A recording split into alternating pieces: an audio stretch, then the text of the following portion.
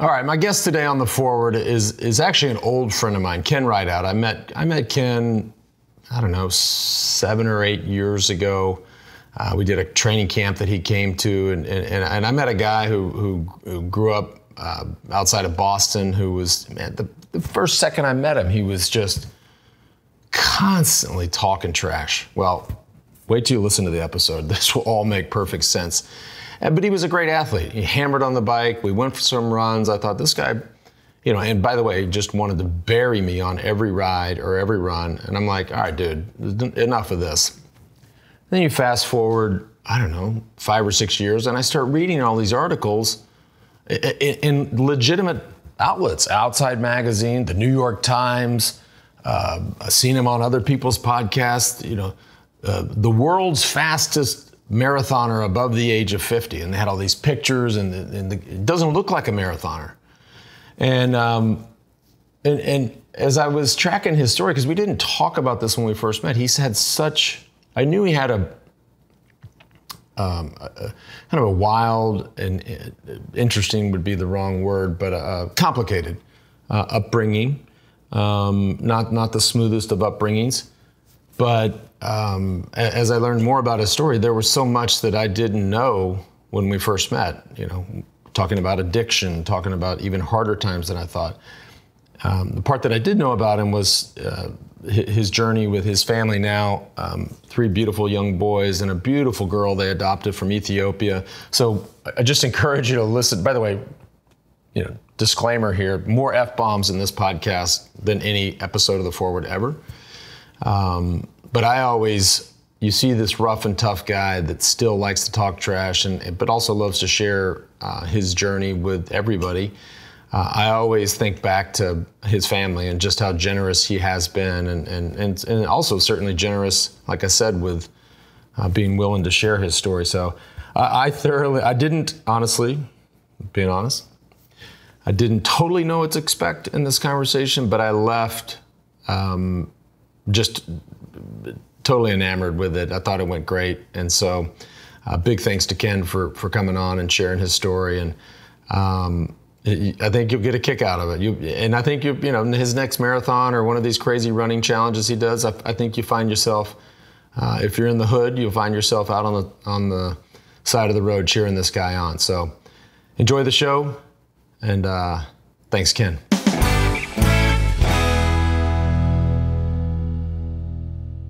Ken Rideout. I, I just I have to start with a question, you know, because when I last saw you and talked and was hanging out, you know, you were just sort of this, which I have a lot of these, by the way. So no, t- don't take any offense. You were just this dipshit buddy of mine.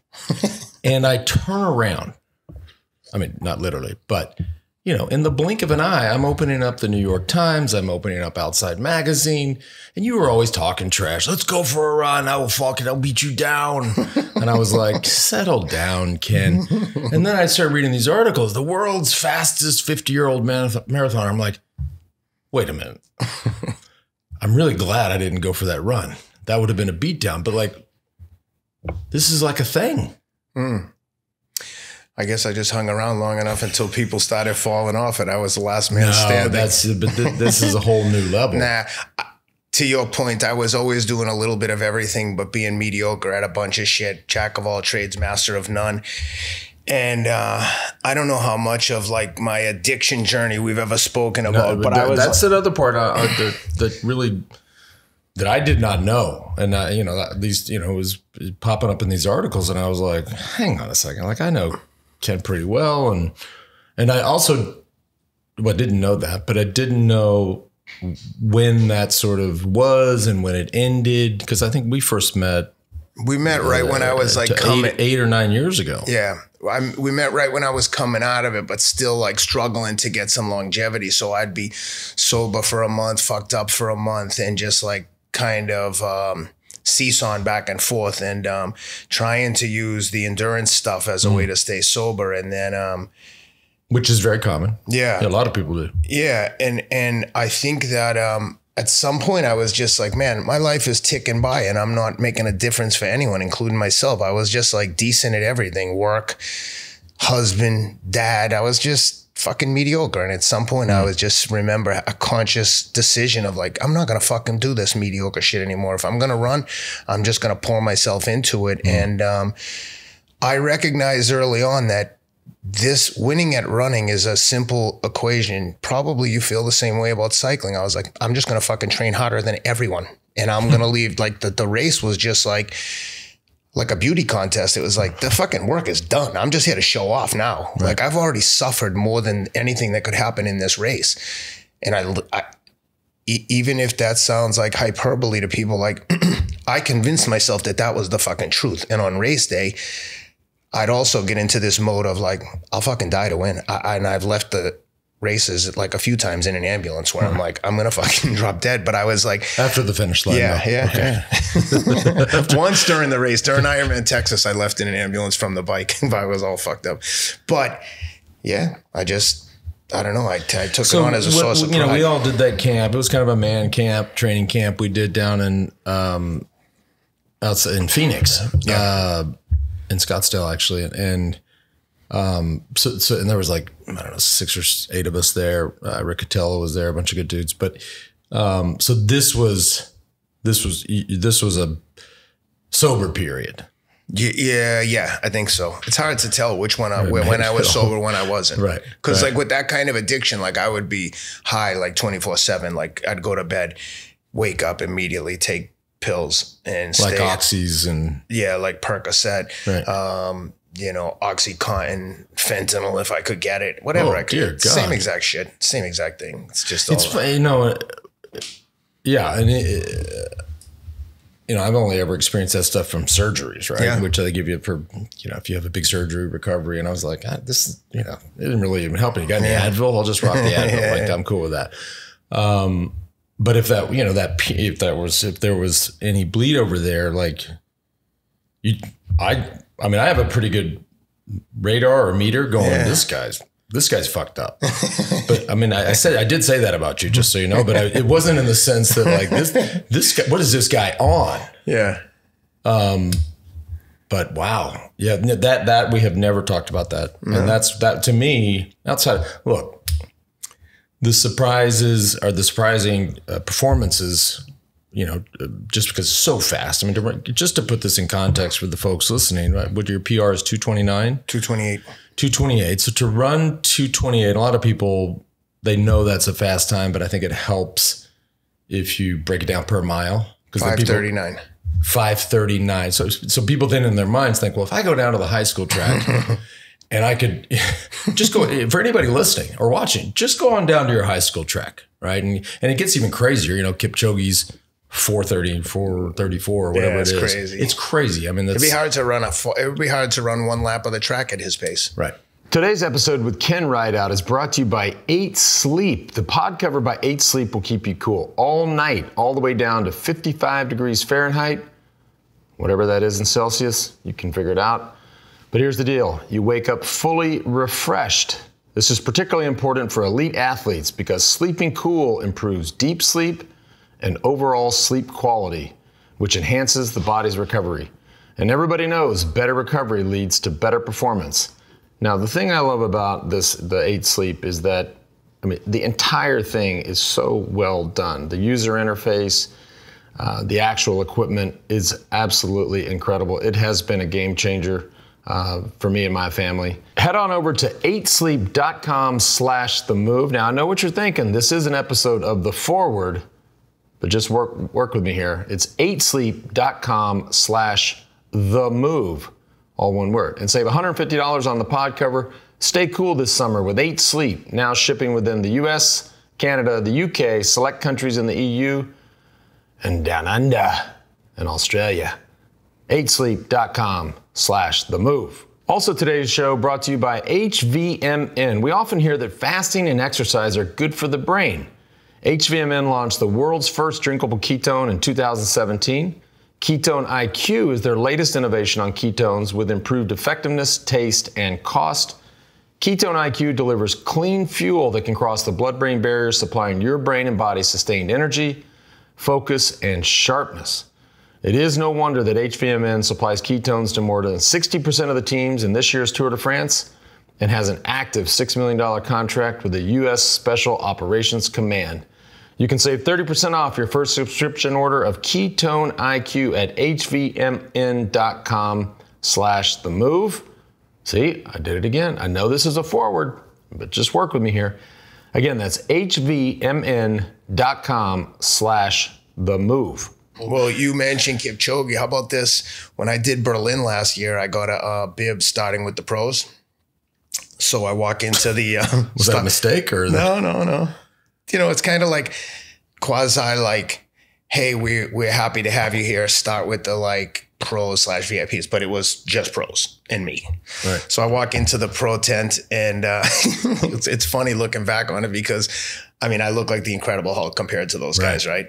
I mean, I only weigh 160 pounds on my at my heaviest. I'm usually around 155, and I walked in there, and um, but these guys are skinny, and all the countries are sitting together. Like the Chinese are sitting over here, the American guys, and some of them recognize me, which is still mind blowing to me because they're like, "Hey, Ken, come sit with us," and I'm like, "Oh, there's no seats over here." So the only seat left was next to Kipchoge and the Oh, Kenyans, no. but everyone's clearly like avoiding him. So I just went over there. I was like, "Hey, what's up, fellas?" Kipchoge, bang, knuckle bump, sit down, putting our shoes on together, chit chatting. It was crazy. And then we walked out to the start line together, and there's a picture of us on the start line in Berlin where he's there, and I'm like right behind him, like one or two people behind him, about to start the Berlin Marathon. He speak English? Yeah. He does. He speaks Yeah. English. Yeah. Yeah. Super nice guy. Yeah. I mean, but- I mean, th- th- that I would. I, I don't even know what I would do. Yeah. Well, I, fucked myself because when he took off, I st- tried to hang with like Yeah, the second group of I mean. pro women, and I was running like I was in good shape though, and, and it gives you like false sense of security. So I was like, I'm taking out. It was humid. In hindsight, it was too humid to go this hard, but I was running like 530s through 15 miles with these pro women. And every step I was like, man, I know I'm going too hard, but man, maybe today is the day. Mm. But it's literally like so predictable. Marathon is so much about experience. If you go too hard in the first half, you will not finish strong. Right, right. You have to run close to even to negative splits to run a PR. Right. Uh, you know, I've only run, I don't know, four or five marathons. And I always, but people ask me a lot that want to do a marathon, like, oh, will you coach me? Will you train me? I was like, no, I don't know. In fact, we just had a, a kid who works for us, uh, ran the San Francisco Marathon. He asked the same question. I said, no. But I kicked him over to Riccitello. I said, hey, Jimmy, just Jimmy's the know, man, yeah. train this kid. Like, because I don't. Yeah. But the one thing I always tell people is uh, because to me, for a marathon, yes, you have to train. But to your point, like it's strategy, right? And, Big and- time. and and also just knowing. And I've heard you talk about, and I talk. It's funny enough, I talk about this like looking at your dashboard, like which which which uh, lights are are now yellow, Yep. soon to be red, and so you're just looking at this dashboard. But what I tell everybody, and I told this kid who works for us, I said, listen, mile twenty is halfway. 100%. Anyone who doesn't believe that hasn't done enough marathons. And they can't get their mind around that. Wait, Yeah. no, that, they think you're crazy. they think you're crazy. So you get it. I'll tell you what I would do if I started the Berlin Marathon, which isn't going to happen. Uh, standing behind Kipchoge, I would run like 100 yards and be like, "Oh shit, my shoe just came untied."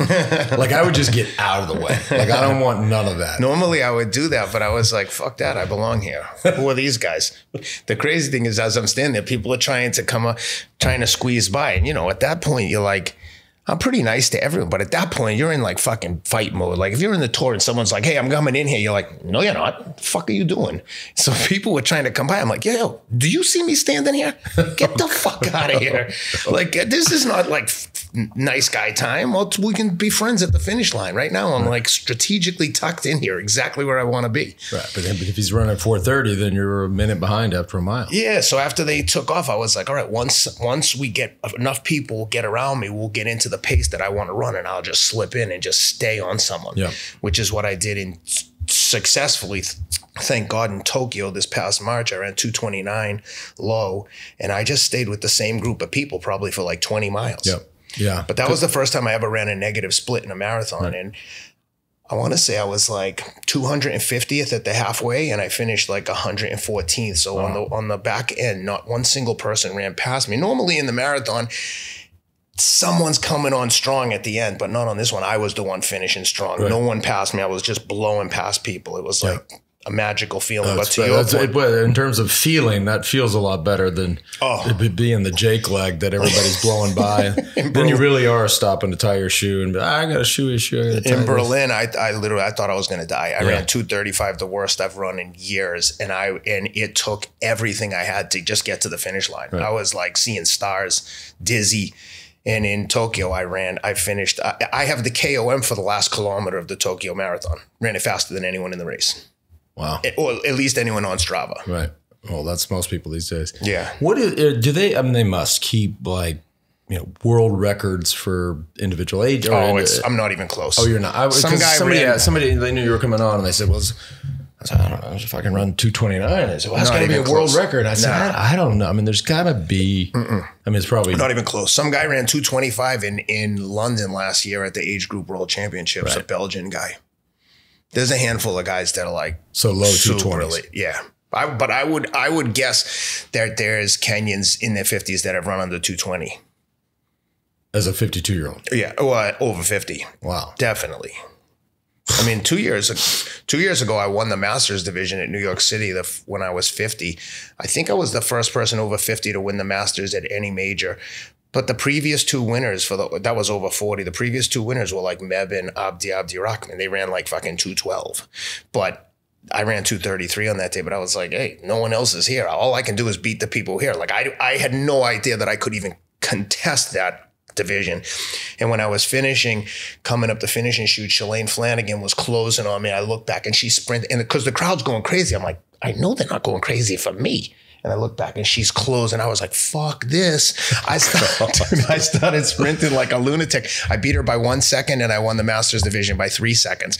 But you know, the, the, the thing right. is so you. the thing is so staggered that I I definitely wouldn't have sprinted like that had she not been closing on me, and I probably could have lost it by like two or three seconds. Right. So it was a nice surprise. I didn't think that I would even. I had never even thought to that would Yeah. be a possibility.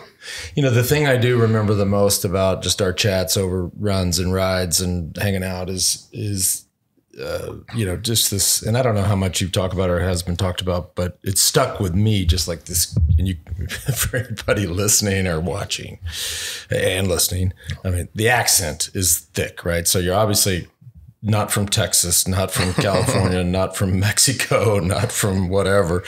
But you telling these stories of growing up in Boston and and, and working at the prison and and I, man, I was just, I was like, damn. You when when you were telling me these stories of growing up, and I, I was like, that is like that's un, like unlike anything I've ever heard. Like rough. I've listened to your childhood. I wouldn't say it's any different. It's just different, different um, locations, different people around you, but different, but same like socioeconomic settings. I was just around a lot of people because we were in the inner city, and it was, um, yeah, man, it was rough. Look, I fucking became a drug addict as a way of coping with all the like trauma that I had seen in my life. Which, by the way. I would have never two years ago, three years ago, never thought I had any traumatic events. And then I went to um, on-site okay, workshops. I, in, know, I uh, know it very well. and Been, uh, been a few times. Oh, you have? Yeah, have. Oh, cool, cool. Because I have a friend who was there. Said they were there with someone who knew you. But so anyway, I- went there at these my friend's recommendation. A guy I bought my house from played for the Titans, and he had gone there, and I was like, in a moment of like desperation, I was like, dude, fucking on site. What do you think? He's like, best decision I ever made. I was Mm-hmm. I was literally like, call you back, and I just went and paid for it and did it.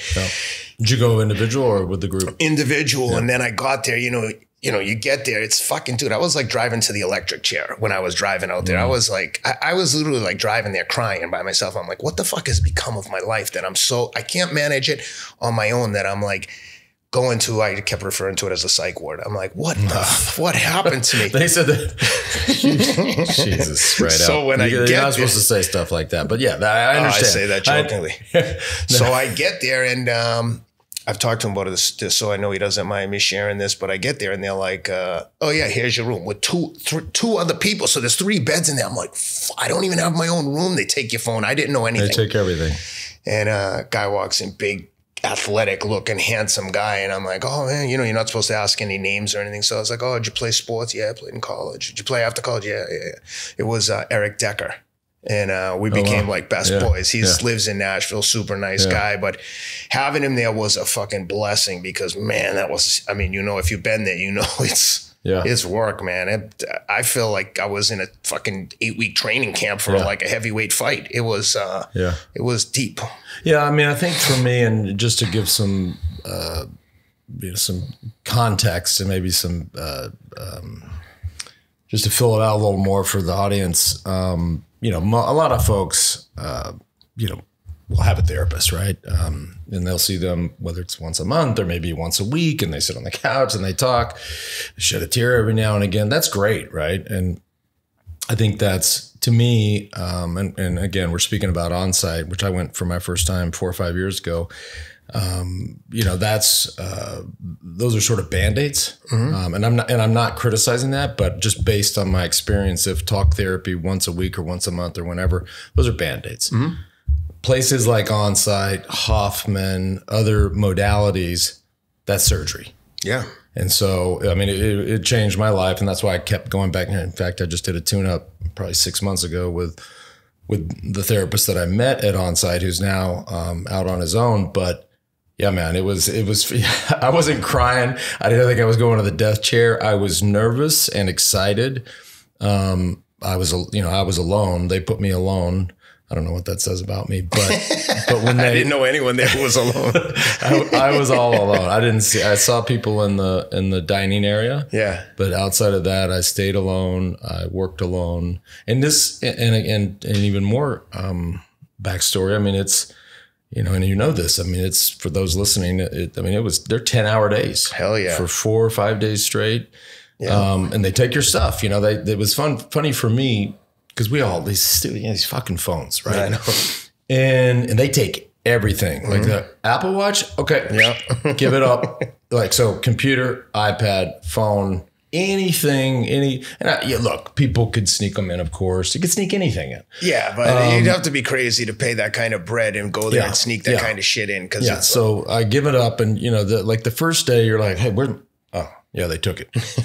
Second day i'm like man it's kind of nice. Yeah, third day i'm like this is amazing. And then the fourth or fifth whenever they give them back yeah. I was like, no, no, no, no, no, no. no. Just, right. do you mind keeping them for maybe like a month? I just couldn't wait to call my wife because I put her through hell and back, so I couldn't wait to call her and explain a bunch I'm of glad. shit. I'm glad you did that. Yeah, that's why we do things like that because the people in our lives that we love and care That's about. right. That's and and and for you, and I think you know the reason you know I went and you well you, you said it right. I didn't realize.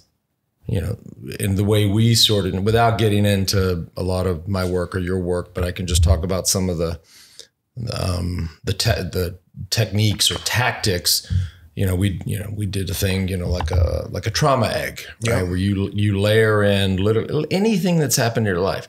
If somebody when you were 11 said, you know what, you're a little you're a little punk ass bitch, and Yeah. you still remember it today, Yes, whatever. I mean, that's if right. somebody flipped you off five years ago when you were writing, whatever it is, or even worse, something with a loved one, a parent, um, any kind of assault, sexual assault, um, anything. You you put that in the egg, and, and then you just you see it all there, and you're like, okay, because the world associates, and, and as they should, they asso- associate trauma and PTSD with with our veterans, um, but which is true.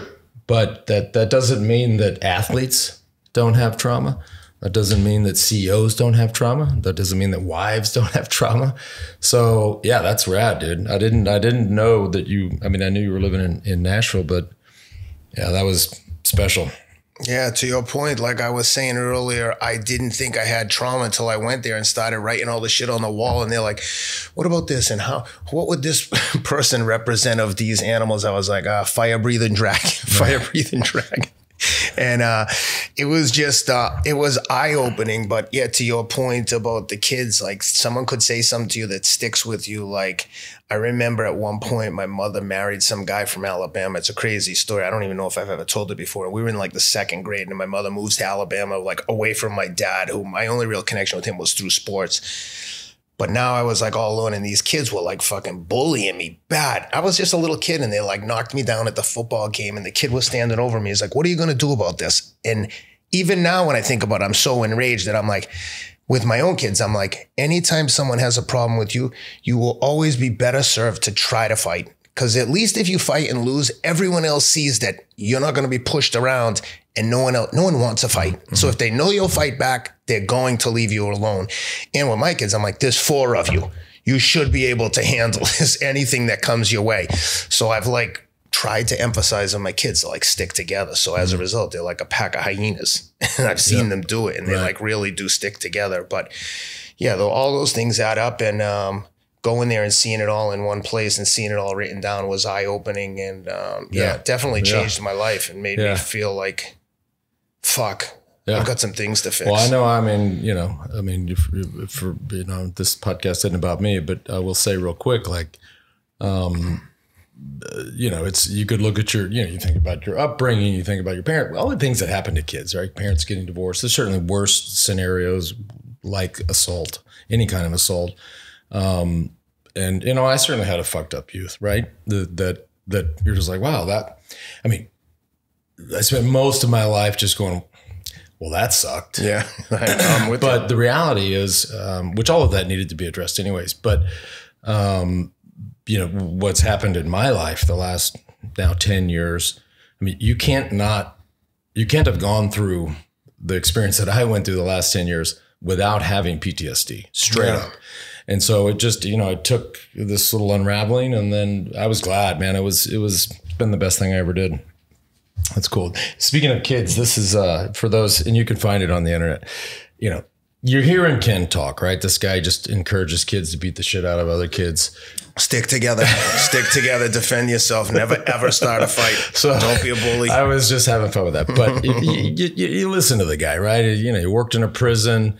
I'm certainly not one to get in a fight. He's going to all the MMA fights with Dana White. He's at, you know, he's got a boxing podcast with Teddy Atlas, which we're going to talk about all this stuff. But just go look at you hear hearing this guy, right? You're like, Jesus, this guy's looks like he wants to jump through the mic and kick my ass. But go ahead, go on the internet.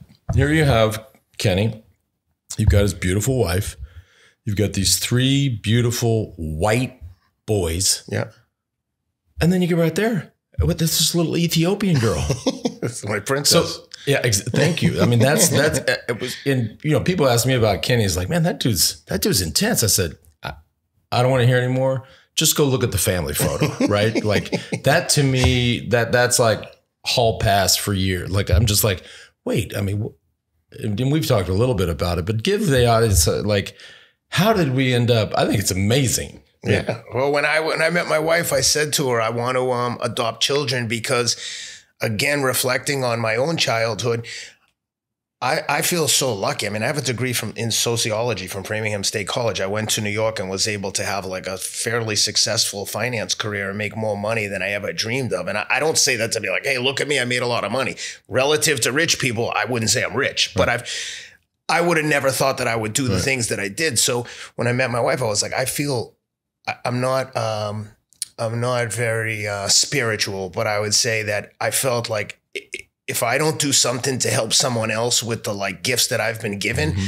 it ain't gonna work well mm-hmm. for me. And I said to, her, I want to make a difference in someone else's life. I mean, I, we would have adopted as many kids as we could afford, but the adoption process is, dude. She's you, the oldest. Yeah. She if is. you don't want to adopt, how old she now? She just turned thirteen. Great. Which we can talk about trying to raise a teenage daughter. I'd rather get whacked in the head with a hammer than try to have like a, a sensible conversation yeah, with her about we life. Can get it's it's, but um, so yeah, when when we started the adoption process, it actually was pretty smooth. As soon as we got married, we started it. We started trying to have our own kids too, and neither of us had any identifiable medical problems. But she wasn't getting pregnant. We did seven rounds of in vitro, three miscarriages. It was a nightmare, and I was like, all along though, I thought it'll it's going to work out. Well, it'll all sort itself out. So in the process of trying to have our own kids, the adoption gets approved.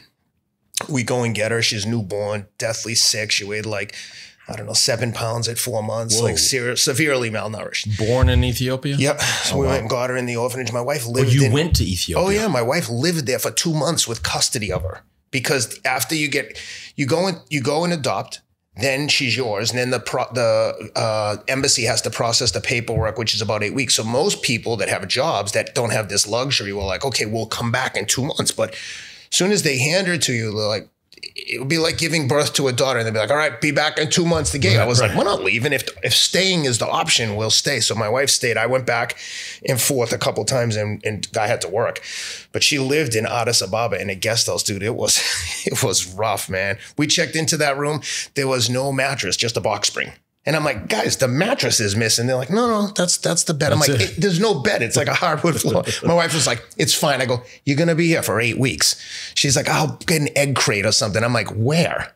Costco? It's like, you know, you're in Right. Addis Ababa. So she lived there and then literally I the while we were there getting custody of her, she must have gotten pregnant that week. So when she came home, she was two months pregnant and She got pregnant on that box spring, so it was okay. Yeah. No, I just want to make Good sure I heard that right. She got pregnant and Maybe a, you should have tried. The, disc. you should have tried the Ethiopian box spring before Yeah. you did seven rounds of IVF.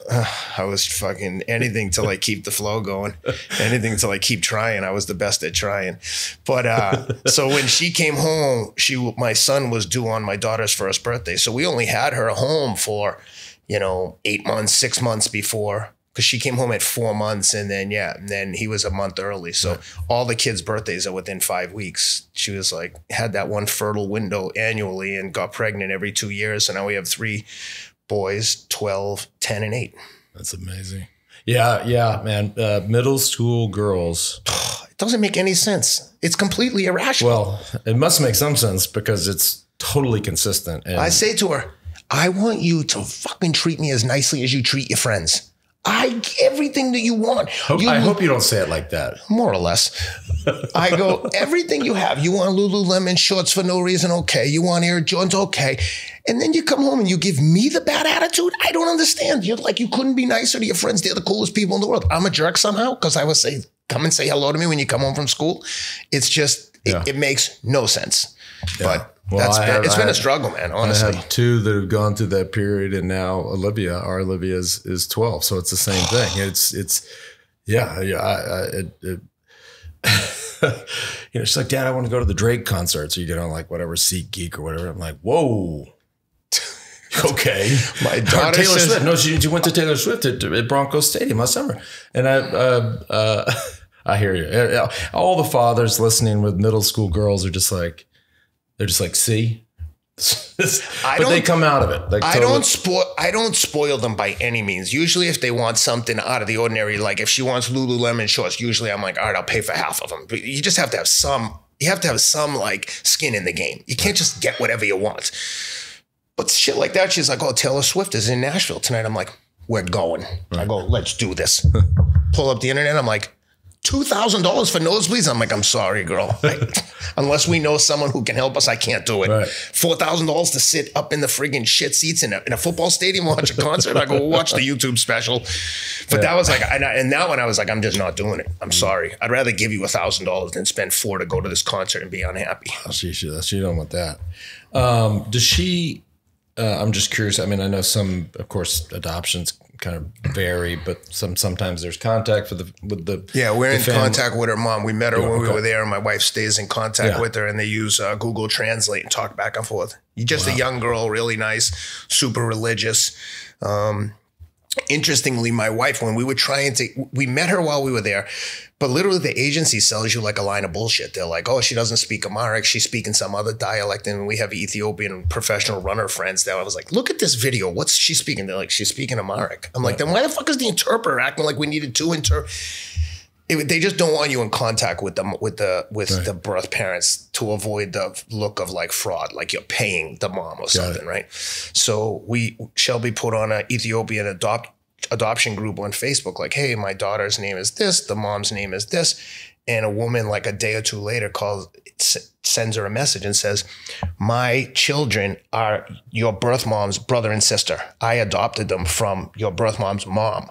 They live with us in New Hampshire. So ten, they're only like a year or two older than Tensei. So she has an aunt and uncle in New Hampshire. We we we speak to them. We haven't met them in person, but like they'll call the house on like holidays when they're in DC with the extended Ethiopian family. Of course, Tensei wants nothing to do with it. She doesn't want to be adopted. She doesn't even want to acknowledge that she's adopted. Right. Nothing. She doesn't want That to was talk my about next question. Like, is that even of interest?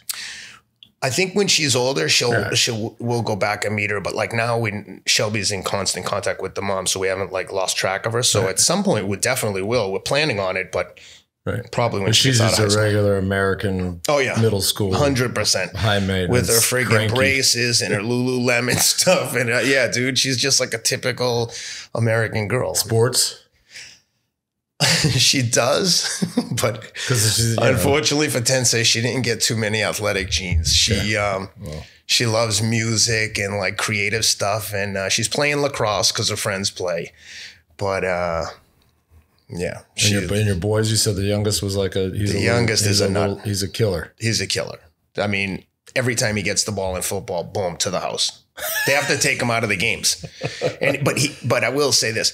Of all my kids, he's the kindest, nicest kid. Yeah. He's super friendly. He even said to me, he's like, Dad, did you see when that kid pushed me when I handed him his flag back? I said, What did you say? I said, Oh, I didn't say anything, Dad. We were killing them. What was I gonna do? On top of it, beat him up? Yeah. I was like, Good boy. Yeah, 'Cause So he could. got dad's sporting genes and mom's Mom's sporting genes. and, and, and and sort of personality. No, hopefully. mom's the athlete for sure. She's 10 times more athletic than I am on a relative Yeah, basis. I'm a shit athlete. I'm just trying hard.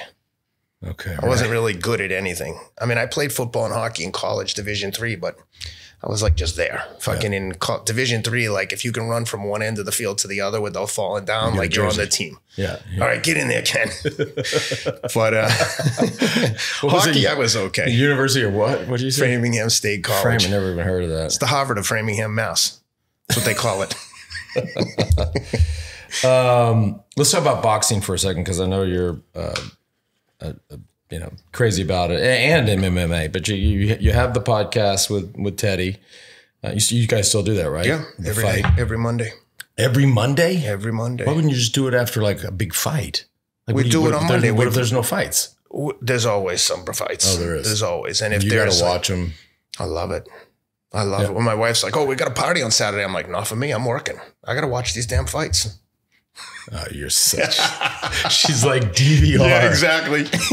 I go. I don't want them to blow it. Someone's gonna put on Twitter what happened. I can't miss it.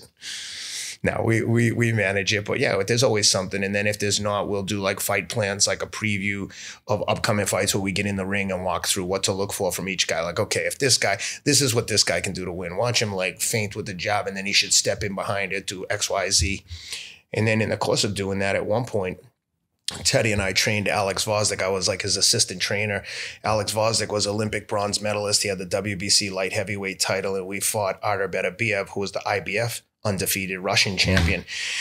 And we had a um, huge pay per view fight, ESPN pay per view in Philly. We lived in Philly for eight weeks in a training camp. It was crazy. Didn't go home once. It was like Wow. we were getting ready for the Super Bowl. I mean, this was a unification Right. fight, two undefeated champions. It was a wild experience. I mean, crazy. You get in the ring. You get in the ring. Let them put on the, with the pads. dude, no way. This Really? is these the fucking light heavyweight champion of the world, dude. He was beating up the sparring partners No, like just they with were the like, pads. Let him hit your Oh hands. no, no, no, Teddy. The, Ted, the, imagine being in preparing for a Super Bowl and uh, Parcells of Belichick's the coach. There was no fucking about. This was like deadly serious business. Teddy wasn't. At one point, we had sparring partners, so I would work the corner for the sparring partner. And Teddy was just, I mean, he's all business there. It's like we're friends, but he was like, he was like Bill Parcells type, Right. just nuts. Right. And he was like, uh, Ken, work the corner for this guy, Cem Kilic, a, a Turkish undefeated um, super middleweight. And because, you know, the super middleweight is a little bit weight below, but they're always h- heavier prior to cutting weight. Right, so they were the same size. So he's like, and Alex is just tuning him up. And, and, and Cem's a pro fighter. So at one point he's coming back to the corner. I'm like, Cem, move your fucking head. Like, don't just stand right. And Teddy's like, hey, Angelo Dundee, I told you don't coach him in between the rounds. He's doing exactly what I told him to do. But Teddy was like controlling the flow. He didn't want the kid to get beat up. If Alex was tuning him up, he'd be like, all right, stop that. Cem, I want you to do XYZ, Alex. I just want you to work on slipping punches. Like, so he wasn't letting the kid get beat up like some some camps, like with Mayweather and some of those guys, they'll bring guys in and just beat the shit out of them, which is counterproductive to everyone. Right, I right. You're Yeah, going to get guys hurt. Yeah, not gonna. He "Oh, well, we can't find anybody. exactly. we were we were walking around. Some, And today's episode also brought to you by True Classic. Now, this brand makes t shirts that actually fit, not to mention super soft. when you're jacked or trying to get jacked, like, you know, like I've been doing for the last few months, you know, work in progress. Sometimes finding the right t shirt can be incredibly frustrating. Most t shirts are too tight in all the wrong places or way too big and boxy, but not true classic. And if you're watching, you can see it. I'm actually wearing one. I actually love this t shirt. I had a white one, I wore it so much. It's like gray now. Anyways, this thing has been a game changer for me. By the way, did I mention they're super soft? That's right. It's about time you get your fit together. Upgrade your wardrobe with True Classic. Get 25% off at trueclassic.com slash the move and use the code the move. Again, you got to work with me on this. That's trueclassic.com slash the move, and the code is the move, all one word. Free shipping included on purchases over 100 bucks. Again, trueclassic.com slash the move. What is your take? Because I, I, I, I, went to, you know, I got to know uh, Jake Paul and, and that whole crew through HVMN, which I know you work with. Um, and so we went to the fight. We went to this Jake Paul Nate Diaz fight. And, oh, in Dallas. In, in Dallas, my son. Yeah. Well, yeah. they they invited me down, and I thought, well, you know, that could be I mean, by the way, it's at American Airlines Arena, twenty thousand people, sold out. I think sport. I think fights are the best sporting event in the world. I've the been way, to I've been to a lot of other fights. I mean, I've been to three Tyson Furies and a bunch of uh, uh, Crawfords, and um, anyway, so it's it's it was it's unlike anything. It's mm. not what I expected when I first went to a fight. I was like, this shit's gonna be crazy. Like it's mm. nonsense. It's not like it's it's more because it gets so quiet during I mean it gets loud obviously yeah. when, when any anytime somebody lands something the place erupts. But if they're just moving and, and, and positioning it's dead silent yeah. which is the cool part. And that my, you know, yeah. my wife has been to all of them with me and she's like this is not what I expected right? It was it, all the pageantry and then just the, the, the way the whole thing unfolds. But so we go to the the Jake Paul fight which you know my brought my son my older son he loved it. Um but what's your take on this uh you know, a fighter like Jake Paul that's that you know didn't come from fighting. Yeah, I've got huge respect for anyone that would walk into the ring and fight another man for money. Right, they're fighting, I, and um, I mean that's I, I left with the same thing. I mean, yeah. I got you know I know there. You, you you hear I really wasn't sure what you were going to say. Right, you you hear everything from you know, some fighters going, "This is bullshit. Don't, don't, you know, get out of my sport." Listen, it's not high level fighting, but to to think that a dude in his fifth fight is fighting under fighting former UFC. Okay, they're UFC, but they're still professional fighters. Right. To think that you could do that, and like by by contrast.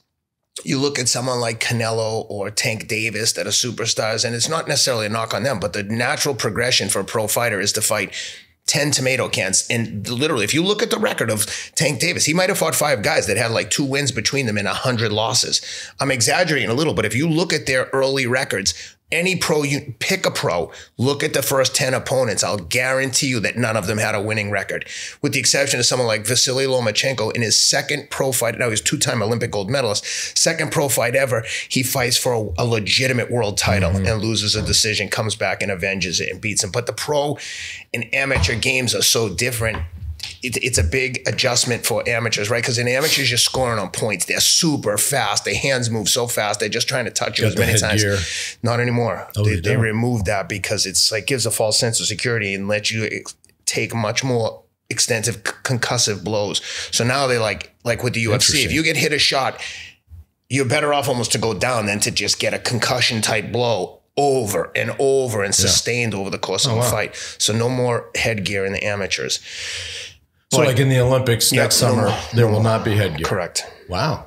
I didn't know most that. corrupt sport on earth, by the way. Olympic, Olympic boxing. boxing. Yeah. Oh my God. There was a, I think in 2012, Azerbaijan like bribed like several uh, officials, AIBA officials, like Association of International Boxing or something. Teddy was calling the fights, and Teddy called it out. Like at one point, a Japanese fighter lost to a guy from Azerbaijan. The guy from Azerbaijan got knocked down like three times and he still won. Oh, and wow. Teddy went crazy and they were like, yeah, you can't call the fights anymore. They made him call the last um, two days from a closet in the arena, but not ringside. Wow.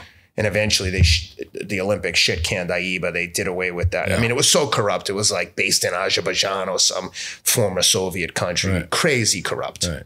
But, but but back to Jake Paul. Man, Yeah. So in the and then and maybe I saw it because I watched his documentary. Um, I think it was on what was uh, uh, Untold on on Netflix. But it, they Really had good. Tyson in there. Tyson said, "Listen, asses and seats. I'm a fan." Hundred percent. And I roll up that night. I'm like, I don't. I mean, I know this place. You know, they play basketball to sixteen thousand people, and there's a little ass ring in the middle of it. It's gonna be. I was shocked. I was like, this is a show. I would say this like the, the kids like we had him on the show and I said anyone who hates Jake Paul hates themselves. This is the American dream. You might not like the way you might not like his personality, but this guy was like, "Hey, I'm going to entertain you and you're going to pay me." And we do. And it's like what, what what's you can dislike the character and stuff, but like what what has he done? He's challenging people to fights, and, and no matter who he fights, you're like he should fight someone better. You'll say he should fight someone better until he fights fucking Crawford and loses. Like, what's the difference? Two guys are gonna get in a fight. How much to watch? I'll do that. I think one of my the most fun fighting events ever is the uh, Rough and Rowdy on on uh, Barstool. Everyone they have, I buy it. It's like a pay per view online thing, Yeah. and they just take people basically from like the crowd in, in West Virginia and let them fight each other in a boxing ring. It's so entertaining. I love it. So anytime someone's like, "Hey, I'm gonna," Your fight. wife's like, we have a party tonight. No, no, Rough and Rowdy is on. Rough and Rowdy is always on a Friday, so I usually get away with that one. What's amazing? I mean, he basically put the fight on, yeah, and which isn't easy. it isn't easy. But there's a whole crew for that. But you like you you think I'm putting the fight on. This is my production. This is my party. Guy, the kid walks out. Twenty thousand. I mean, like nineteen thousand five hundred of them were just lighting him up, booing. I'm like, whoa. Yeah. I thought this was your party. I was shocked. And then Nate Diaz comes out, the place goes nuts. I'm like, funny, are you sure? Like, how is this? I was, I was blown away. Yeah, No, I I love it. I, I think what he's doing is great. Any like I said, anytime someone's like, "Hey, I'll fight you for money," like, "Oh, cool, I'm I'm I'm here for that." Yeah. I will say, you know, and I haven't trained with him, but by all accounts, man, he trains hard. Oh, he's got he's does real professional boxer training. Yeah, yeah. and- He's got a facility in in Puerto Rico. He's Yep. the real deal. Yeah. I mean, he's He's gotten on the bike. he's training. Uh, yeah, they sent me a picture of him Oh, on really? the bike the other day. Yeah, he's got the new Cervelo. He's got the helmet. He's got bike shoes clipped in, everything. Oh, all right. Yeah. Nothing pisses me off more than when you see like Conor McGregor You're riding a road on bike with like pedals. shorts and a tank top, no helmet, uh, with- with- sneakers. With with platform pedals, and the seat is like six inches too low. And he's just like elbows out. I'm That's like, like, a pet peeve. Every time someone Yeah. rides by me I- with I've the saddle too, too low, I'm like, yo, your seat's too low. Most of the time they'll turn around like, really? I'm like, yeah, man, it's way too low. It's, you feel funny? Yeah. I can't help it. My wife will be like, why do you even bother saying anything? I'm like, I don't know. The seat's too low. I was helping him. I wasn't trying to be a jerk. right, right. No, that, I agree with that, man. Um, let's go back to running for a second because I, I have to talk about this. Which, I mean, it's like when I woke up, I don't know, three or two years ago, whenever it was, that the whole world started saying the world's fastest fifty year old. I was like, wait a second, this is the same guy who was always talking shit on me and wanted to go. and then, then I, then you know, you know, not that long ago, I open up and he's halfway around the world. I don't even know how to describe it. I'll let you do it. But you're running some race in Mongolia. You're wearing a backpack. you're, and this is looks, it you know, obviously looks very different than any kind of marathon picture. You're running around in the desert alone. Mm-hmm. And I'm like, oh, he's totally lost it. Dude, it was fucking crazy. A friend of mine who works at Equinox, Gary Brown, he says, Hey, a guy, the president of Equinox, former dean of Michigan Business School, um, Scott DeRue, he wants to meet you. And I was like, Oh, cool. Connect me. He's like, Oh, by the way, I'm doing this race in Mongolia called the Gobi March. It's a self supported six day stage race. So every day predetermined like 20 to 50 miles for six days. And you have to carry everything except water in a tent that they provide. And um, I don't know why. Food you got to carry? Everything Spare shoes? you gotta carry? everything clothes shoes minimum safety equipment sleeping bag everything. Anything you want clean clothes you don't need to take clean clothes. You had to have certain minimum things. You had to have a, a down jacket because it got cold at night. You had to have long pants shorts four pairs of socks you know and some basic basic requirements my backpack was way too heavy. I, I didn't know what the fuck I was doing. So the guy told me this, and I said to my wife, just, I don't even know why. I still don't know why. I just looked at her and I said, Am I crazy to think that I could go and do this and win this race? And she's like, Yeah, you're crazy, but you always talk about doing things outside of your comfort zone. So fucking do it. You preach this stuff all the time. Dude, take your own medicine. I got to meet your wife. By the way, I've I never met your wife. and I said to my wife, you know, my wife is like a TikTok sensation. She put up a TikTok the other day. She was on the Today Show. She got like 20 million views in a week. She does like little things with the kids, like lesson plans. My fucking son's frog jumped out of the cage and got stuck in the wall. So she was like staking it out for like six hours, waiting until it popped out because she couldn't get it. And then when she caught it, and that's the one that was on the Today Show. Oh, it's God. crazy. So she was like, yeah, go for it. Okay. And then I was like, yeah, it's probably going to be like 25 grand. She's like, yeah, forget it. we'll take the kids to Hawaii. So a bunch of, uh, I'm lucky that a bunch of brands that I work with were nice enough to step up like Equinox, Reebok, HVMN, Athletic Greens, Athletic Brewing, who we both love. Um, they came through and helped me put this whole thing together. And th- But then, dude, this may put like professional athletes in perspective me because I was like, holy shit. There are a lot of people like watching and thinking I can win this race. Like the pressure is Oh, on. Oh, I was like, I mean, in my mind they were. No one said like we expect you to win. But afterwards, when I did win, the guy uh, Chris, Chris um, at Athletic Brewing was like, "Holy shit, I can't believe you won." I'm like, "What the fuck are you talking about? You can't believe I won. What are you talking?" He's like, "Dude, you know how many people call us and tell us they're gonna do X, Y, and Z? Can we help out?" And blah blah blah. No one ever does it. I'm like, Right. "Well, good. I'm glad you had a good experience."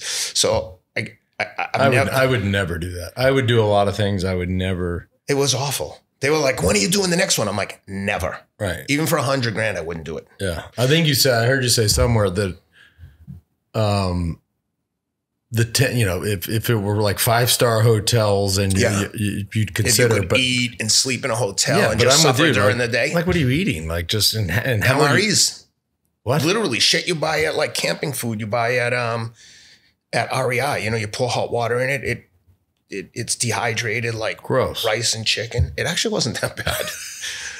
Did you bring some back, honey? No, for dude, I was out of everything. She was, leaves I and she's like, "You feed the kids," and you're like, "I got some of this shit." I still have a few left, but Yeah. I, I was like scavenging for food from other people because as it got later in the race, I had just the minimum. You had to have a minimum of 2,000 calories a day, which by the way, on I was measuring all my shit on Whoop and I was burning um, 10 to 12,000 calories a day and consuming 22 to 2,500.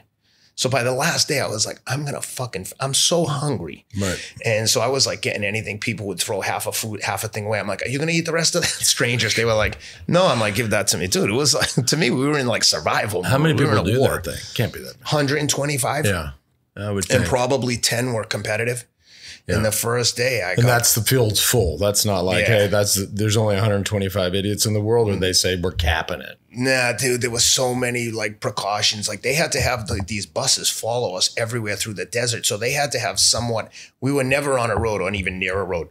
These buses were driving through like the desert in the pastures because one day like a lightning storm came and they were like everyone get in the bus. Like they had a contingency emergency escape plan every day if crazy weather rolled in. Right. so we'd get on get on the bus to ride through the um till the till the lightning passed.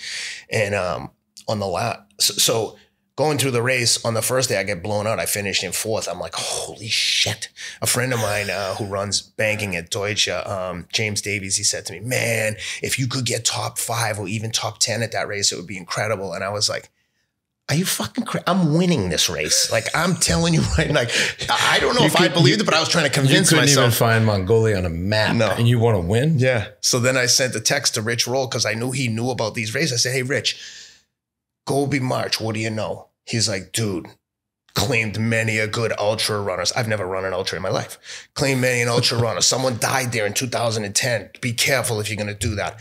I told him when I did his show in July, it hasn't come out yet. I said, when you told me that, I was like, fucking Rich thinks that this is too tough for me. Fucking fuck Rich. I'm going to kill this race. Yeah.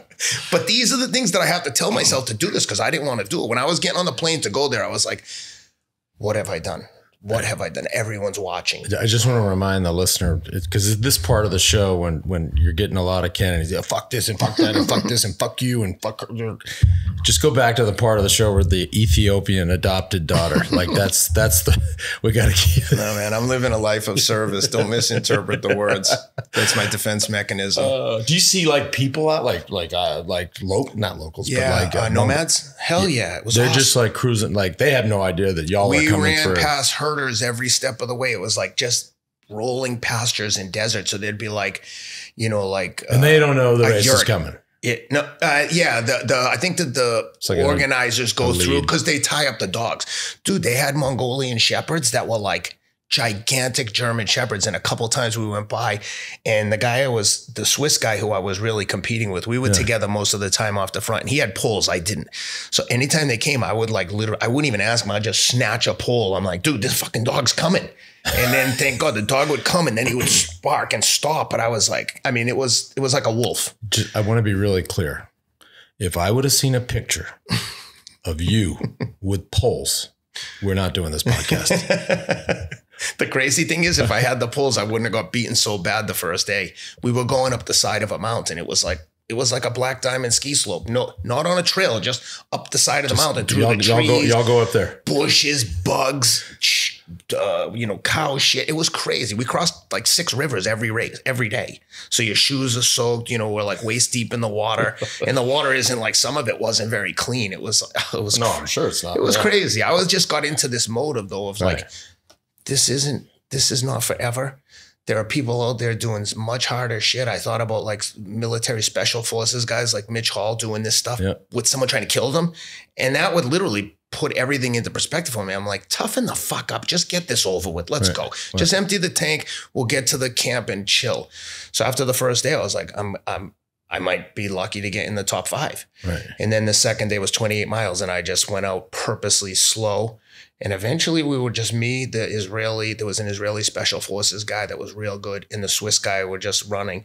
And then I looked back, and they were gone, and I couldn't even see them. And I'm like, but I knew I wasn't off the course, and I just stayed steady. And won that day was down like 12 minutes. And then on the fourth day, we did 50 miles, and me and the Swiss guy were way off the front. And slowly, he was like, dude, I got to walk. But at this point, it wasn't like we're going to kill each other because there was almost a responsibility. We're alone in the desert, and there's like checkpoints like nine miles apart. Hmm. You almost couldn't carry enough water to get to the next one. It's hot. And now it's it's, the middle of the day. And We're doing 50 miles, and it's like three o'clock So it's afternoon. hot during the day and cold Scorching. at night. And Yeah. cold at night. So That's he's like. I gotta walk a little. I'm like, all right, let's walk. Then he's like, dude, I gotta sit down. I'm like, dude, please don't sit down in the desert. Like, we have to keep, let's just get to the next checkpoint. You'll get water. So now at this point, he, I'm giving him my water. I'm dumping my water on his head. I'm trying to carry his backpack. And he's like, no, no, no, no. Just let me rest for a second. I'm like, I can't leave him, but I, I wouldn't, but I, I, can't leave him there. You know, and, and just take off. Right. He's sitting down. They might not ever see him again. And then eventually a support, like a four by four Ford Raptor truck came by and I was like, hey. And then they like started giving him aid. And I was like, are you good? You guys good here? And then I just took off. And that day I took like a 90 minute lead and that was it. That was it. Yeah. Hardest thing you've ever done? By miles. Right. I mean, because marathons are hard. I mean, This is not, that's not even on the same stratosphere. and so uh, you say that obviously it is the farthest you've ever run. Um, a marathon probably wasn't the farthest, or maybe it was the farthest you've ever run before that. yeah, it was. Yeah. Okay. So then it's, but marathons are hard. Yeah. Like, especially if you have a bad one. It's a different kind of hard, man. Because in Yeah, the marathon, like you said, if you do it right, you got a hard 10K. Yeah. The first 20 shouldn't be hard. It's uncomfortable, but like bearable. Yeah. Then you get into that, like, okay, all the all the lights are blinking and all the friggin' dashboards exploding, but you know you've only got a mile or two. Right. This was more like managing that load for like hours And at you a can time. see forever. Yeah, and only the last day was like five. You could see a mountain range barely in the distance, and you know I have to get over that mountain range and then onto the next mountain range that you can't even see. But on um, the last day was like five miles, and I had a ninety minute The lead. stage was five miles. Yeah, just a ceremonial that? I last mean, let's stage. just lump it into the one before and this be done. Into the last, into the um, kind of ceremonial, into the town, the Genghis Khan like fortress, like a walled city. It was really cool.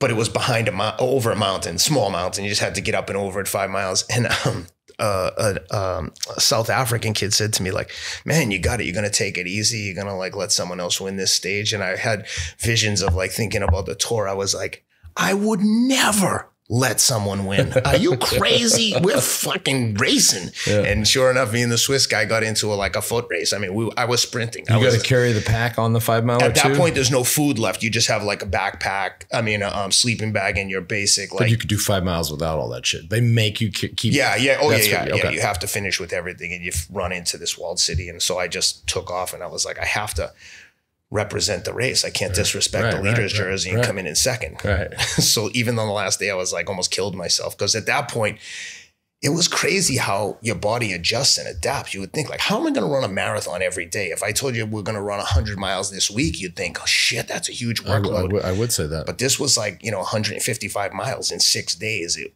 but it was like anything, like recovery. You just like like like addiction recovery. you're just like let me just worry about today. Let me just get mm. through this day, come back, lay down, and I'll deal with tomorrow. Tomorrow, everyone's going to be dealing with the same shit.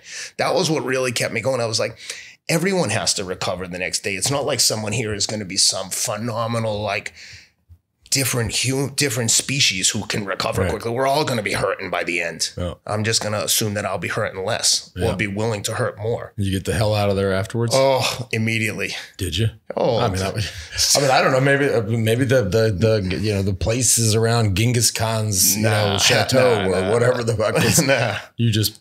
Split. Yeah, we we took the buses back to the uh, Ulaanbaatar, the capital, and uh, next morning six a.m. Boom, out of there. Ooh. Hope you aren't flying in the back for that. Uh, I just told you I'm a big baby. I got to stay at the nicest hotels, yeah, flying first yeah, class. Yeah, that's right. I spent my that's whole why, childhood that's why in, in coach. I'm yeah, done with it. Your wife, well, I should have known that when you said it was 20 grand to go over there. I should have been like, well, that's an expensive coach seat. it was too too long of a flight, especially from Nashville. I had to connect a couple times. really? you told me you're writing a book. Yeah. I mean, I'm, everybody listening to this podcast is like this. Why don't you just put some of this down on, on paper? Yeah. Yeah. About the life, about the, uh, well, well, it doesn't have to be, or it could just be a, you know, it's kind of, kind of like a, like what I've approach. learned, like lessons learned and yeah. things that I've experienced and how I dealt with them because listen, I can be very self-deprecating and get down on myself. When you go through that kind of addiction, it's hard not to like have a lot of self-loathing. It's mm-hmm. hard.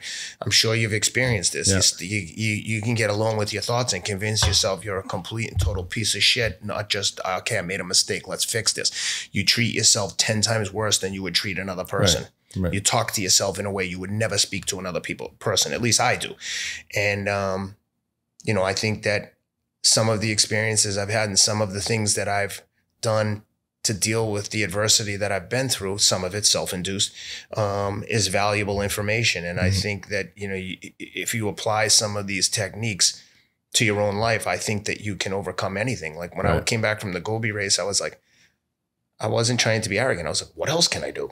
Could I win Leadville? Could I win Badwater? And I wasn't saying like I'll smash those people, like, but but if I'm going to win at anything, like I have to believe it first. And, and I think a lot of times people are afraid to state their intentions or state their beliefs because mm. you don't want to come across as arrogant or disrespectful.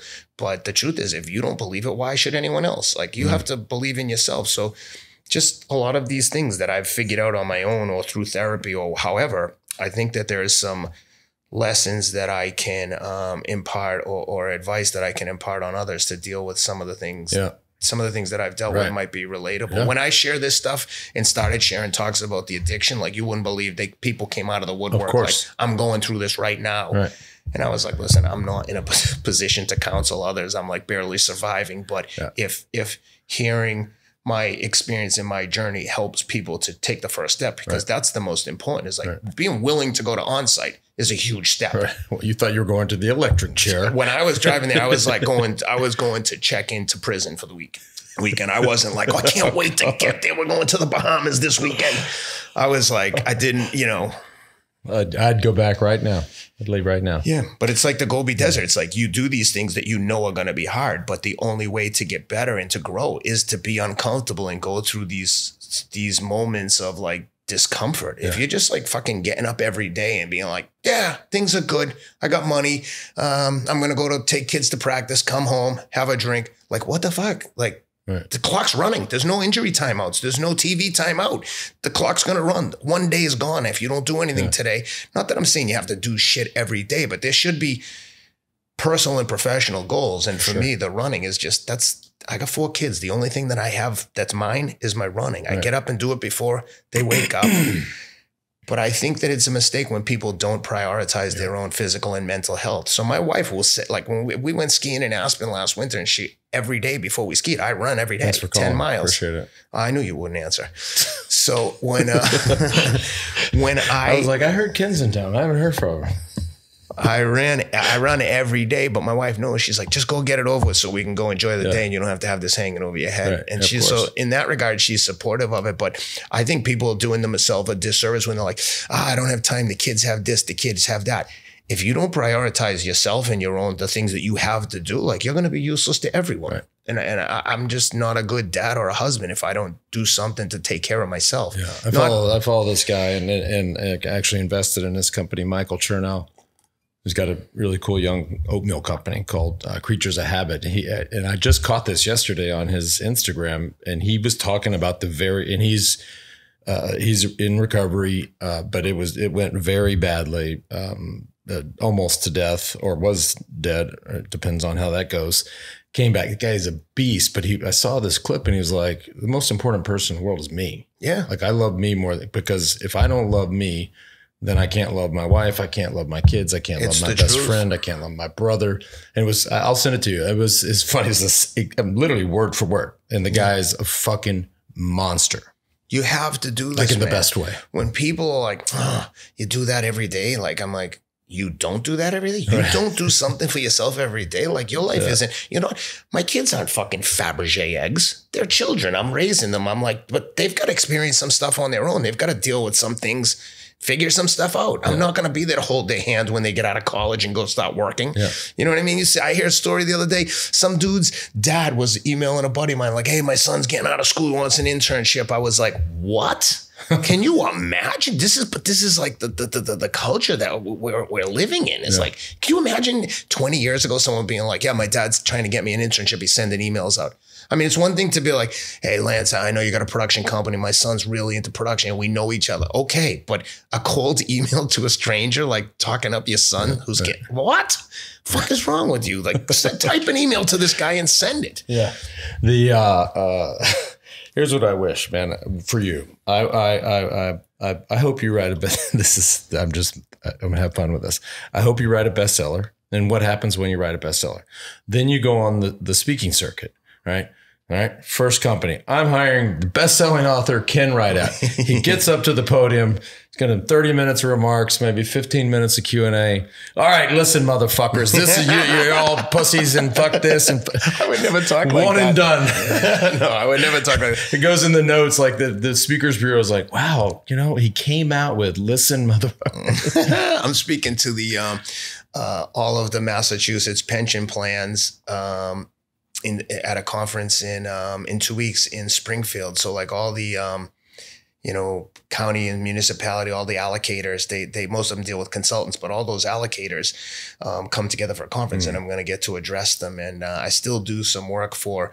Um, different funds like private equity venture and I've raised it uh, I've raised money for a lot of funds we've over the last few the past, years yeah. and um yeah, it's um Well, let me know how it goes. yeah for sure. I've done a bunch of I've I've spoken to a bunch of elementary schools too. Oh, I have a whole different. yeah, I know you can. I mean, come on, I know you can control that. All right, before I let you go, so uh, I have to ask because you're, you know, we're. you're- We're here in Austin. I moved Yeah. back. I'm yeah, you're here. I'm here, uh, and you're with this guy Jelly Roll. my band. That's my best friend. And so, I because I watched, you know, I hadn't really heard of him. Like I, I listen to a lot of music, and I, I listen to country music. And When I moved to Nashville, I heard the names, quick, uh, but I saw the documentary like three months ago, and I was like, "Now this is a story." Mhm. Like if y'all haven't seen this Jelly Roll, and I forget if it's on Showtime or Max Hulu. or on Hulu. I said, if y'all haven't seen, I mean, this story's crazy. Yeah.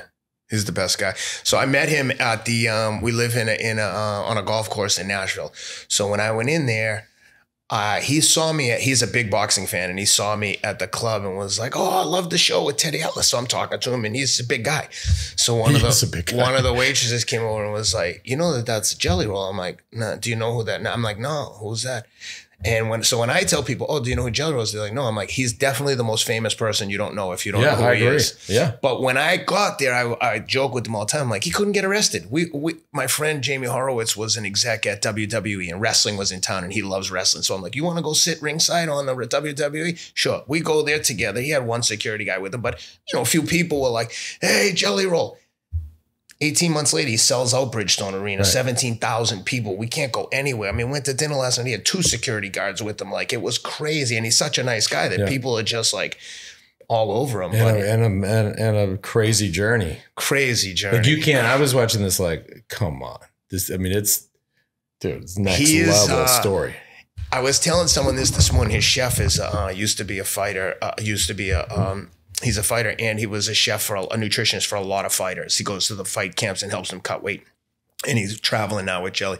And I was saying to him, like, you know, a lot of people to see this southern guy, he's kind of he's overweight. It's easy to assume he's like not intelligent. But when you talk to him, Mhm. he comes out with some things sometimes I'm like, what? He he's incredibly intelligent and he notices everything and hmm. remembers everything. And hmm. I identify with that because I do too. Even hmm. with my kids, I'm like, who left this wrapper for the straw here? Like, if you do that and everyone does that, that means I've got to pick up eight straws every day. Like, why don't we just all take care of our own business? But we were sitting there at that restaurant and I was eating the pickled cucumbers, and he's like, You've had like eight uh, plates of those. I'm like, I can't believe you would rec- recognize that and notice that. But that's what I would notice too and be like, why does that guy keep eating all those cucumbers? Yeah. But I probably wouldn't say anything. Right. Well, because you weren't getting enough food, so you had you were you were eating whatever they put down. I hadn't eaten all day and I did like a hard workout yesterday, flew to Austin and was late for the flight and didn't get to eat. So by the time we got to scratch, I was like, I need six of everything. But so I ate a ton of cucumbers. But that's what I mean. He he's he's incredibly intelligent, super curious about a lot of things. And then we went to um, Rogan's uh, club, the mothership. It was awesome, super fun time. But I've known Joe and they don't tell while. you who's performing, or they do. Somebody told me that that I mean maybe they tell you guys, but most people don't know who. I mean, it could. What did you What did you say earlier? A can of tomato soup. I mean, you could roll up and it's a can of tomato soup comedian, and you're Yeah. like, oh, picked a bad night. Or you could roll up and Dave Chappelle comes out. You're like, I picked a good night. Yeah, he had uh, Tony Tony Hinchcliffe, Hinchcliffe was with them. Was like one of his st- like normal. I think in the re- regular rotation, and then there were a few guys that I hadn't heard of before. I think Joe tries to give opportunities to a lot of Yeah. uh, comics. He's a that's good right. dude. And then uh, and then we went down to the bar afterwards, and they all came in. It was cool, but by like 12, 30, 1 o'clock, they're going hard, and I'm like, yeah, I'm a pussy. Goodbye, guys. I'm going to bed. I got too much stuff to Did you do. run tomorrow. this morning? Yeah, You did in this yeah. heat? Yeah, every day. Every What'd do, every like two- single two day. or three miles? I did uh, 12. Did you run down on the trail? I ran from Commodore Did you- Perry down to the river. Yeah. Every time the river, yeah. Yeah, the rivers. I mean, I, I just just being back in Austin, and and I mean, we've come back and forth, but just being here, you know, basically every day and out riding or running or whatever I'm doing, I'm like, damn. I mean, it is that that trail. I mean, Town Lake Trail Yeah, is such a vibrant scene. It's like, and it was all. It's always been that way, but super eclectic. dude, and What it's and so many crew. people. Like it's it's badass. I love when I see a guy come racing through on a like a mountain bike or a road bike, all kitted out, and he's like racing. I'm like, dude, what the fuck are you doing? Like, you're gonna kill somebody. Can you get on the road? But yeah, I ride on that thing. I hopefully slow, Well, I'm, I'm respectful. yeah. respectful. Yeah, Yeah, you man, can there- ride. There's on nobody it. there that I ride, with, but I, I use it to get out to these side because these cars. I, mean, I don't like being. I I tell it all the say it all the time. I don't like riding with cars. I don't trust people in cars anymore. Dude, people looking So at their I- cell phone. All you have to do is drive down the road and watch what other people are doing. Everyone's doing it. Yeah, I've But, done uh, I've done this thing lately where I get I get either I get really mad because you know you're at a red light. I'm like, all right, and then it turns green and nobody goes anywhere. I'm like. So I'm like laying on the horn. But then there are other times where I'm like three lanes over and I'm like, I have to be all the way in the right lane. Yeah, And I'm like, somebody's going to be on their phone. hundred percent. so in one hand, I'm like livid and laying on the horn. The other, op- the other hand, I'm like looking for opportunity. I'm like, there he is. Boom. just that's my hole. I'm in. Did I ever tell you the story when I was riding my bike in New York City? I went over the George Washington Bridge. The guy almost hit me in his oh, car. Oh, you tell the story And then I time. caught him at the light, and Yeah, he got out. don't- don't he got tell out to beat me up. yeah. Then the police came and da da da. And I'll just remind the listener. This is also the guy because I reminded them before in the last time about the adopted daughter. I, I will now remind them of the guy who, at one of the rest stops in this run around the Mongolian desert, offered or did give his water to his main competitor. For sure. Just remind. I'm just just bringing people back to the to the onsite. Ken. The accent can throw people off. I live a life of service. I, I respond to everyone who sends me a message. I try to help anyone I can. Even if someone asks me something crazy, I just ignore them. I'm like, ah, I don't like ignoring people. I should Right. at least tell them why I'm saying no. Yeah. And she's like, what? Yeah. But yeah, I don't. uh I don't know. I think I'm pretty kind. I just don't want anyone to fuck with me. This is a good place to end. Dude, it's been great. Let's not make it so Thanks long next time. me. Yeah. No Thanks, problem. brother. Thank you. Keep it up.